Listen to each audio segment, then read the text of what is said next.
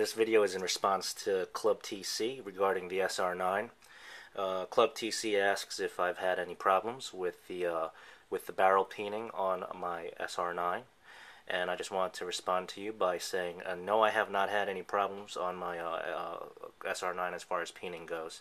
I have actually shot as of today, uh, December 22nd, 2009, 6,200 rounds through it, and it's it's functioned flawlessly. It likes all the ammo I give it. I've I've shot cheap stuff through it. I've I've uh, shot a little bit more expensive stuff. Uh, you know, 125 grain uh, hollow point, uh, full metal jacket, uh, blazer brass, everything federal. Uh, it eats it all up. Works really well.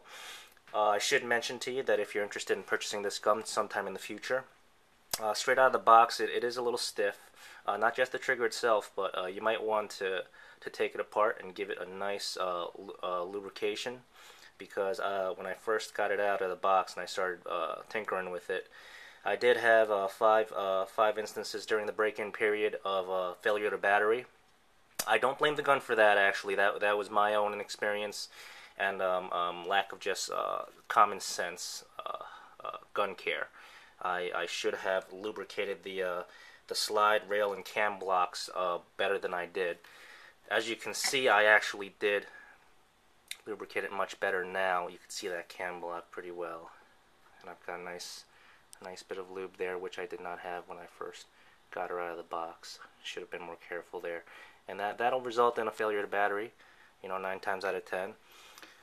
Uh, you know just take care of your uh, your slide also. I always try to get a nice coat of grease into that slide as well right in the crevices right there That'll, that'll make for a nice, good, clean cycling of the ammo. Uh, what else? Uh, so basically, it's a, it's a very, very reliable gun.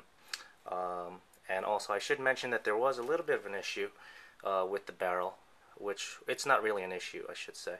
Um, this is a post-recall gun, and I, I, I do know through the forums that they had issues with some of the barrels peening. I have not had that issue. This is usually the top part of the barrel where the barrel would hit the breech is basically where people were having peening. I did not have that problem. I do have a little bit of a, you know, it does make a little bit of contact there. You could kind of see that. But, I mean, if I wasn't even looking for it, does not affect adverse, it does not affect the gun adversely at all.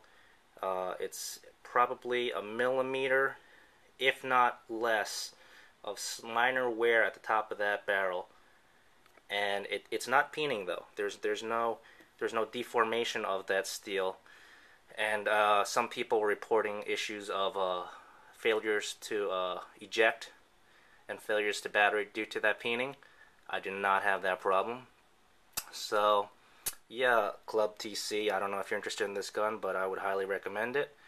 I'm a I'm a very very uh, you know average shooter and I'm able to do uh, 4 inch groups at 15 yards.